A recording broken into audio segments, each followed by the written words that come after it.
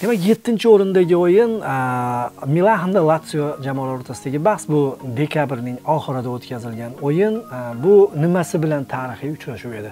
Milan uch ikki hisobda g'alaba qozondi va yaqinda bo'lib o'tganligi uchun uchrashuvni juda ko'pchilik eslasa kerak. Ya'ni milan yaxshi o'ynayotgan edi latsio umuman ikkinchi bo'limda bir yigirma daqiqa davomida fenomenal o'yin ko'rsatdi va hisobni tenglashtirgandan so'ng simon inzagi xatoga yo'l qo'ygani ko'pchilikning yodida menimcha. Asosiy hujumkor futbolchilarni o'yindan olgan chiro immobile hamda savichni shundan keyin ularning o'rniga tushgan futbolchilar garchi tezlikni kuchaytirgan bo'lsa ham o'yin sur'ati yo'qolib qoldi va milan so'nggi soniyalarda teo hernandes tomonidan kiritilgan gol evaziga g'alaba qozondi. Bu o'yin yodingizda. Nimasi bilan tarixiy? Mana shu yilning so'nggi o'yinida milan yil davomidagi hammani ajablantirib kelgan natijasidan toyinadi deb kutdi ko'pchilik. Ya'ni yutqazib qo'yadi deb o'ylashdi. Buning ustiga inter jamoasi sal avval g'alaba qozongan va ikki soatga birinchi o'rinda borayotgan edi. Milan esa nafaqat durang balki g'alabani ham yulqib olish mumkinligini irodali futboli bilan namoyish etdi. Shuning uchun ham tarixiy va milan aynan mana shu uchrashuvda qozongan g'alabasi bilan yilni ham zo'r boshlab oldi. Inzagilarning akasi bilan ham hisob kitob ishlarini maromiga yetkazdi bu haqda albatta keyingi sahifamizda. Kamp noudagi barselona hamda yuventus jamoalari o'rtasidagi uchrashuv ham tarixiy. Krishtianu ronaldu hamda messi erasi tugayotgan paytda ular o'rtasidagi kurash barchani o'ziga qaratdi. Bunga yetarlicha sabablar bor edi. Barselona birinchi turda aynan yuventusga yo'l olgan va yuventus bilan kechgan uchrashuvda g'alaba qozongan edi. O'sha o'yinda ronaldu maydonda yo'q edi koronavirusga chalingan edi. Yodingizda bor va ronaldusiz yuventus yutqazganligi uchun muxlislar nisbatan kechirishdi. Va kamp nouda oxirgi turda oltinchi turda yuventus jamoasi e, uch ochkolik farq bilan oldinda borayotganda durenetga qayd etsa ham birinchi o'rinni naqd qiladigan holida uchta gol o'tkazib yuborishini hech kim taxmin qilmagandi. Va ana shu uchta gol sodir bo'ldi. Ikkitasini krishtianu ronaldu urgan albatta yana bir tarixiy voqelikka aylandi. Qiziq tomoni 33 e, o'yindan beri barselona kamp nouda e, yutqazmayotgan edi. Ana shu mm, mag'lubiyatsiz seriyasini ronaldu boshchiligidagi yuventus buzishga muvaffaq bo'ldi. 2013 mm, yili bavariyaga 0-3 hisobda yutqazgan o'shandan beri e, kamp nou qo'rg'on vazifasini bajarib kelayotgan edi. Guruh bahslarida kamp nouda esa barselona 2009 yildan beri yutqazmayotgan edi. 11 yil muqaddam ispaniyaning kataloniyasidan rubin jamoasi 3 ochko olib ketgan. Shunday ekan baribir barselona keyingi bosqichga chiqdi va psj bilan o'ynaydi. Va psjdan o'tadigan bo'lsa bu uchrashuvning tarixiy maqomini biroz bo'lsa ham chetga surgan bo'ladi. Lekin psj keyingi bosqichga chiqib ketadigan bo'lsa bu uchrashuvning qiymati saqlanib qoladi. Nafaqat 3-0, nafaqat 0-3, balki keyingi bosqichni ham taqdirini hal qilgan uchrashuv sifatida. UEFA Superkubogi Bavariya hamda Sevilya jamoalari o'rtasidagi uchrashuv. Albatta, Superkubok finallari, kubok finallari har qanaqa holatda ham tarixiy, chunki biror bir jamoa yangi sovrinini qo'lga kiritgan bo'ladi. Sovrinlar sonini oshirgan bo'ladi. Nimadir sodir bo'ladi o'yinda. Lekin bunda ko'proq e, bavariyaga bog'liq statistikadan tashqari sevilyaning ham natijasi qiziq. Uchrashuv zo'r bo'lgan yodingizda bor. Hattoki so'nggi daqiqalarda sevilya g'alaba qozonishi ham mumkin edi. Bir bir payti e, yusuf annasariy darvozabon bilan birga bir chiqib gol ura olmaganda noyer qahramonligi o'sha uchrashuvdagi qahramonligi hisobiga o'zi bemalol the best sovrindori bo'lgan edi. Lekin bo'lmadi gol bo'lmagandan keyin bavariya qo'shib berilgan bo'limlarda g'alabani yulqib tortib oldi. Penaltilar seriyasigacha ham qolmadi. Demak sevilyaga oid fakt shundan iboratki bu yevropa ligasi emas. Sevilya uefa superkubogi o'yinlarida qatorasiga beshinchi marotaba muvaffaqiyatsizlikka uchrayapti va bu turnirning anti rekordi eng qizig'i sevilya futbolchilari mana shu 5 ta boy berilgan uchrashuvning tasini qo'shib berilgan bo'limlarda yutqazishgan. 2007 yil milan jamoasi 3-1 hisobida dog'da qoldirgan klubni 2014 yili real mag'lub etgan 2-0 hisobida 2015 yili barselona 5-4 hisobidagi ajoyib o'yindan so'nggi kambek 2016 real sevilla 3-2 unda ham so'nggi daqiqalarda urilgan gol hisobiga madrid g'alaba qozongan va 2020 yil bavariya. Sevilyani ikki bir hisobda dog'da qoldiryapti. Endi sevilya shuning uchun bo'lsa kerak xoden lopetegi yigitlarga aytgan yigitlar yevropa ligasiga tushmaymiz. Chempionlar ligasini qo'lga kiritish uchun harakat qilamiz balkim o'xshab qolar va shunda mana bu qora an'anamizni yo'qqa chiqararmiz degan ma'noda. Atletika madrid ajoyib jamoa. Kutilmagan narsalarni amalga oshirib yuradi. Va liverpulni enfildda mag'lub etishini hech kim xayolining bir chetiga ham keltirmagandi chunki liverpul o'tgan yilgi chempionlar ligasi g'olibi sifatida harakat qilayotgan edi. Shu bilan birgalikda liverpul o'zining chempionatida furor ko'tarib o'ttiz yillik tanaffusdan so'ng apl g'olibi bo'lish arafasida edi.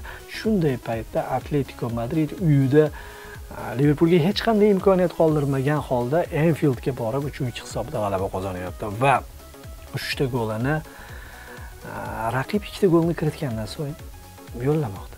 Mana shunisi haqiqiy diego simeone uslubi va mana shunisi haqiqiy liverpulning mag'lubiyati. Chunki liverpul yutqazgan o'yinida ham chiroyli futbol taqdim etgan bo'ladi.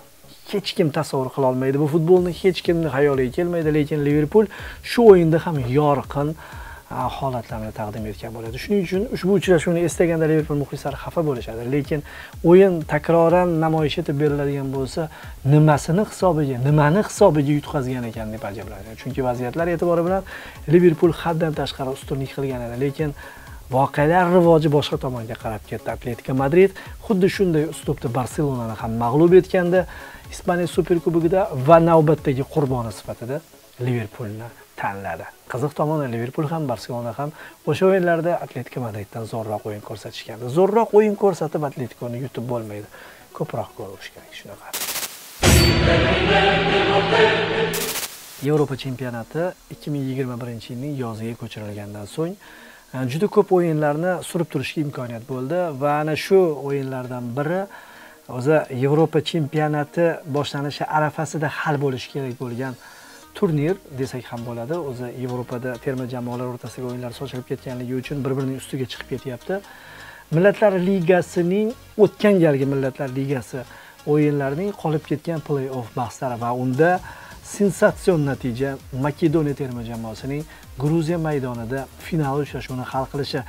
Makedoniyadan tashqari boshqa terma jamoalar ham vengriya yoki boshqa yurt vakillarini ham e, yevropa chempionatida ko'ramiz lekin bu yurt bu kichik mamlakat birinchi marotaba e, ko'hna qit'a chempionatiga yo'l olayotgani bularning oldida salobatliroq.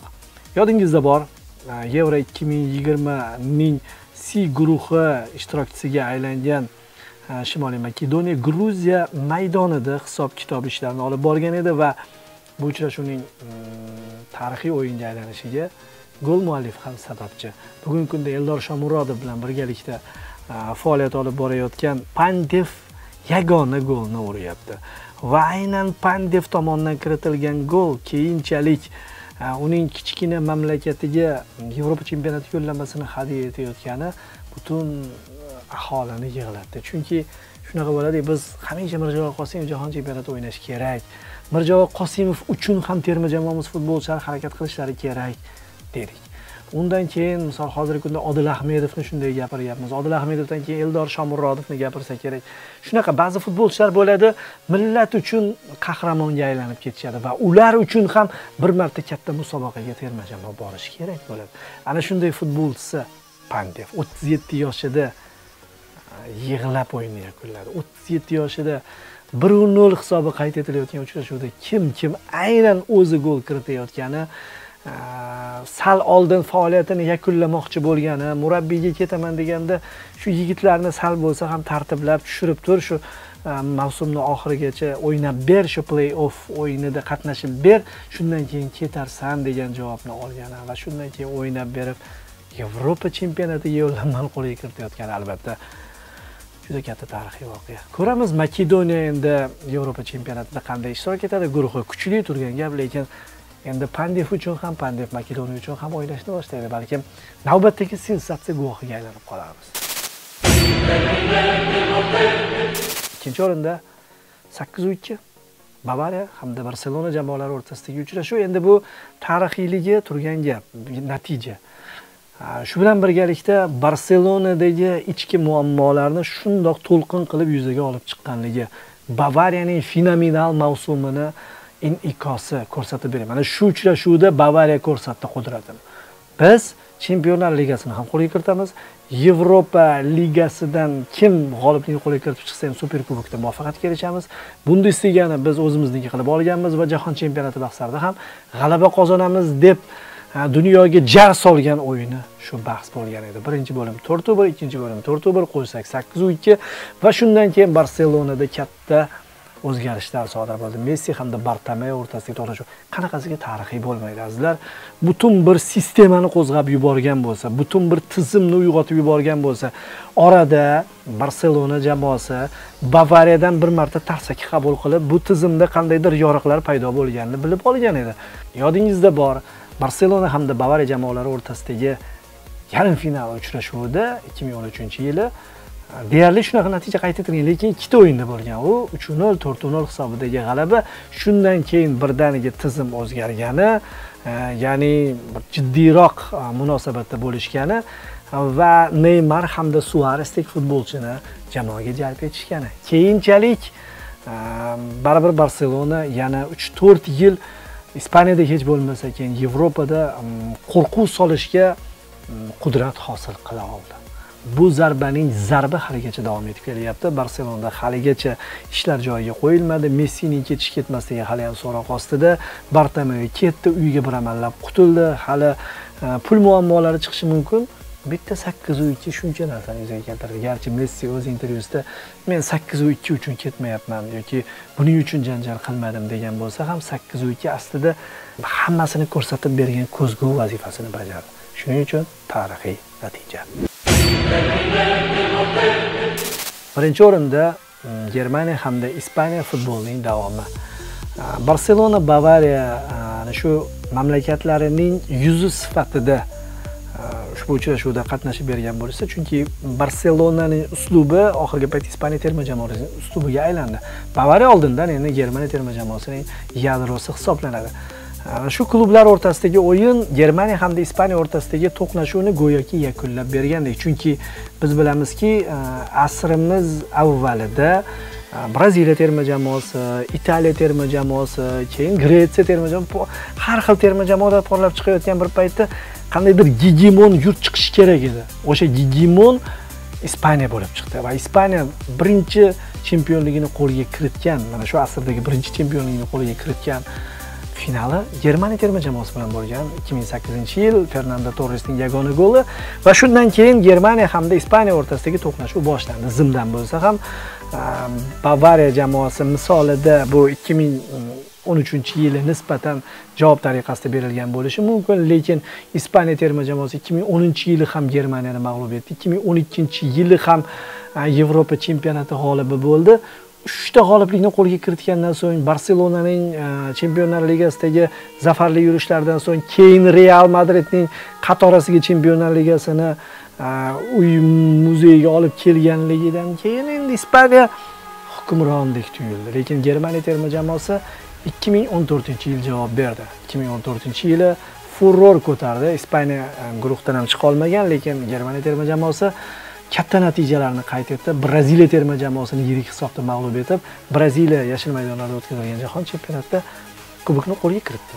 Ikki ming o'n sakkiz e, ikkalasini ham mavsumi bo'lmadi lekin hisob kitoblar davom etib keldi va oxir oqibat boya aytganimiz e, sakkizu ikki bilan tugadi bu voqea klublar o'rtasida. Lekin shundan sal keyin ispaniya terma jamoasi germaniyani yanchib tashladi majag'lab tashladi va hali bu to'qnashuv davom etishidan ogohlantirdi. Ya'ni ispaniya terma jamoasining o'sha kungi 6-0 hisobida germaniya terma jamoasi ustidan qozongan g'alabasini ko'rgan muxlislar hayron bo'lishlari mumkin. Bu nimasi? Tarkib? Yosh tarkib emas.